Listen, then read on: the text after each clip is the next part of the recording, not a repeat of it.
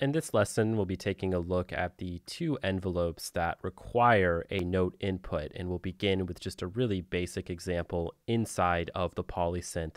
So here we have this sound.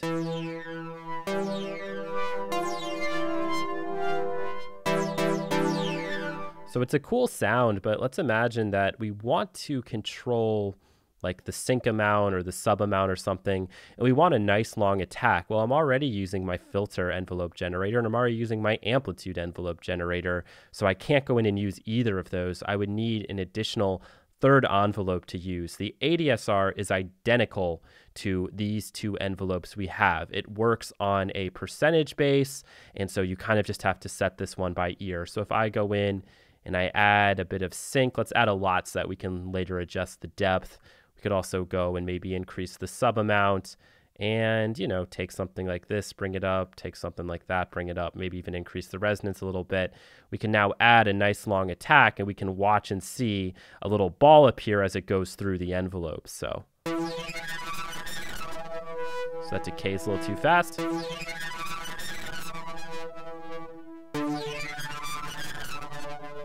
So you obviously know how this works. It's a little extreme. So the nice thing is we do have a depth control. So we can kind of scale this back, or if we go backwards, the parameter is actually going to go the opposite direction. But you can see how we've now scaled that back pretty considerably.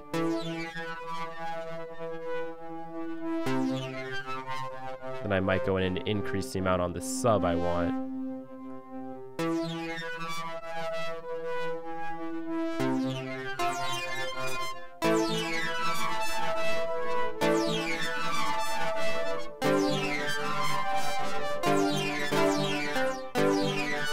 So that's kind of an aggressive sound, but you get the idea. Let's go ahead and just get rid of the ADSR for now. And instead, we're going to look at the AHDSR. So in this case, we have attack, hold, decay, sustain, and then release. So with the with this one, you obviously are now setting your time by a milliseconds. You have a little curve control here, and then you also have the hold parameter. So the hold parameter is just how long is the value going to hold after it makes its way all the way to the top of the attack here. So let's go and let's set this to control something like the balance here. Have it increase the sub amount and maybe bring this back or something. So what we'll be able to do is hear how this is working. We're going to have the hold last for like a whole second. So it's going to get up to the top. It's going to stay there before coming back down and reaching some kind of a sustain level. And then we also have our release. So you can see how it's holding, comes back down, and then releases away.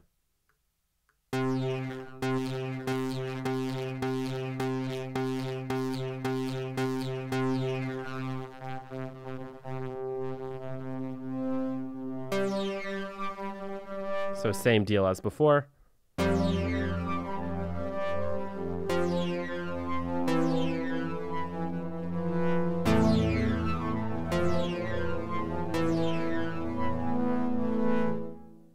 And there you have it. So the great thing about these is they can also then be modulated to any other modulators you have. So imagine having a macro control and it's controlling a bunch of additional effects, you could then route that to control that knob and have that move in real time. And I'll just show you what it would look like. I'm not going to go through and set that up. At this point, I feel like you guys can definitely figure that stuff out. But I could go here and set it to the full range. Then it's going to go up and follow. And again, I have brought the depth back a little bit but that would be something you would definitely want to consider doing and could easily get away with. So, uh, loving these things, especially on your instruments, so easy, straightforward to use. In the next example, we're going to uh, set this up onto a hybrid track. Here's the situation you have this pad sound looping over again and again. You want to bring on a couple of uh, envelopes to control the cutoff of a filter and the mix amount on the resonator bank. You could, if you already had an instrument playing, you could steal the notes from there. But in this example, we're just going to set up something uh, completely independent of that. And I'm going to start again by going and converting this to a hybrid track. In this example, I'm going to add a blank instrument track here. And we're going to go and at the beginning here, I'm going to bring on the note receiver There it is. And I want the source to be coming from instrument two. And we can see that we are then getting a note brought in here.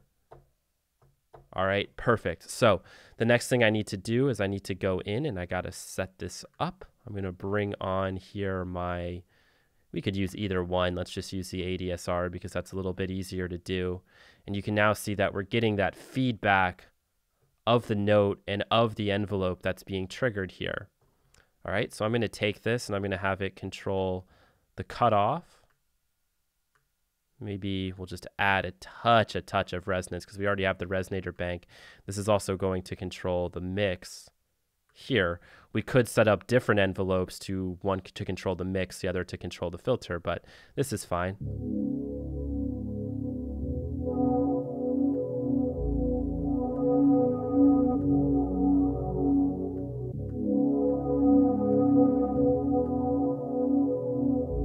I like that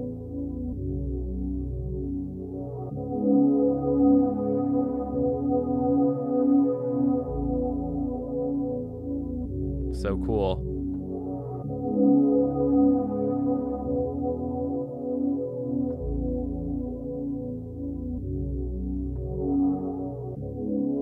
Or we could do something like plucky. Let's see if we can set that up.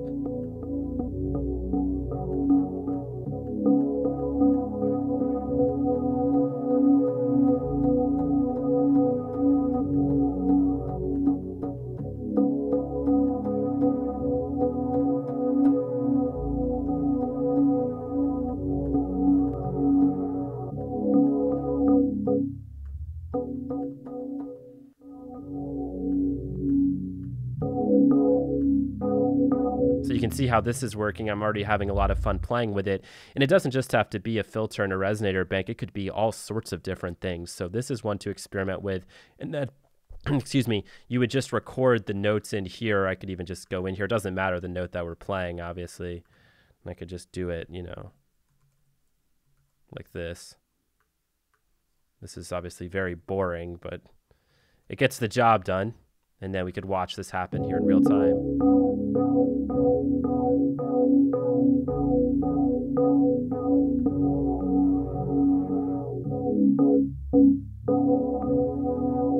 And you could set other modulators to be controlling other things in here.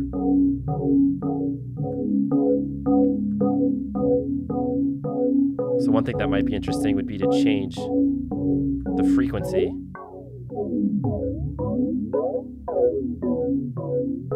Maybe we could even have that set up here.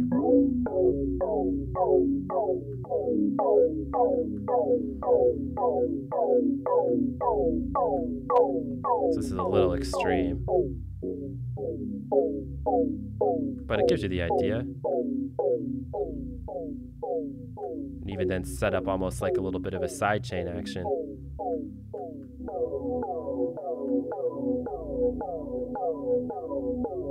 And this is all without using the note sidechain. You almost have more control over the envelope that's being generated this way. And the nice thing with the AHDSR is that you could go in and actually then even add curves to take things a step further.